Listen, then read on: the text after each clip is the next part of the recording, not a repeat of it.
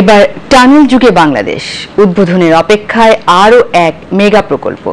চট্টগ্রামে কর্ণফুলীর তলদেশে নির্মিত দক্ষিণ এশিয়ার প্রথম এই টানেল এখন যান চলাচলের জন্য পুরোপুরি প্রস্তুত।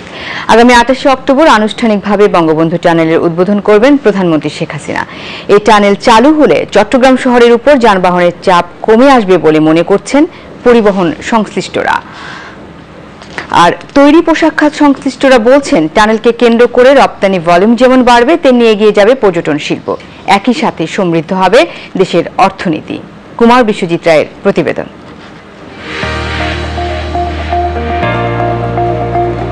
আর মাত্র কদিন, এরপর আটাশে অক্টোবর খুলে দেওয়া হবে স্বপ্নের বঙ্গবন্ধু টানেল।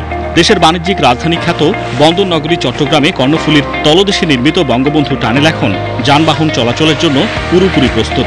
চলছে ট্রায়াল রানের প্রস্তুতি।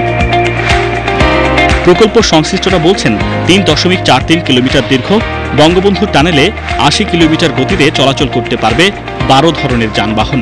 নিষিদ্ধ থাকবে তিন চাকার যান ও মোটর বাইক আমাদের কাজ কিন্তু পুরোপুরি শেষ।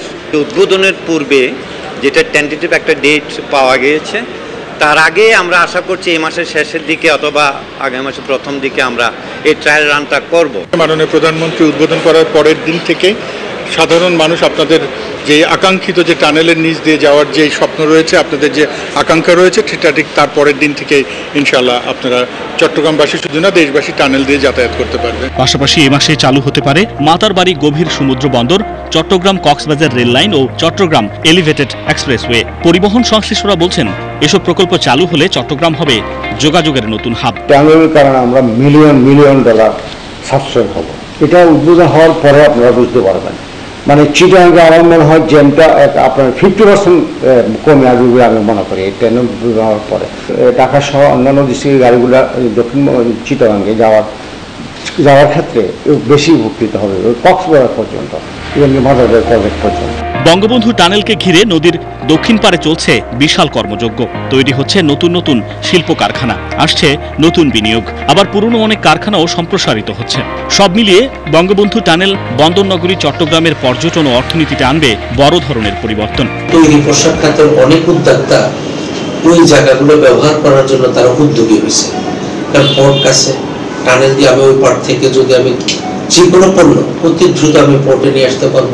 আবার তাদের যাতায়াতের জন্য কিন্তু টানেলটা খুব কম সময়ের মধ্যে তারা যাতায়াত করতে পারবে। এই যে টানেলটা, এটা যে কি পরিমাণ আপনাকে সুযোগ, সুবিধা বা এনে দিয়েছে, এটা যখন উদ্বোধন হবে, যখন এটা মানুষ ব্যবহার করা শুরু করবে, তখন এটা সুফল মানুষ হাতে নাতে পাবে। ধারণা করা হচ্ছে, টানেল চালু হলে প্রতিদিন গড়ে অন্তত সতেরো হাজার গাড়ি চলাচল করবে। বছরে যা তেষট্টি লাখ ছাড়িয়ে যাবে। একই সাথে চট্টগ্রাম, কক্সবাজার ও দক্ষিণ চট্টগ্রামের সঙ্গে যোগাযোগ আরও সহজ হবে। দুই হাজার উনিশ সালে শুরু হয় বঙ্গবন্ধু টানেলের নির্মাণ কাজ। দশ হাজার সাতশো কোটি টাকা ব্যয়ে এ টানেল নির্মাণ করছে China Communications Construction Company Limited. Kumar Biswajit Roy, Bangladesh television.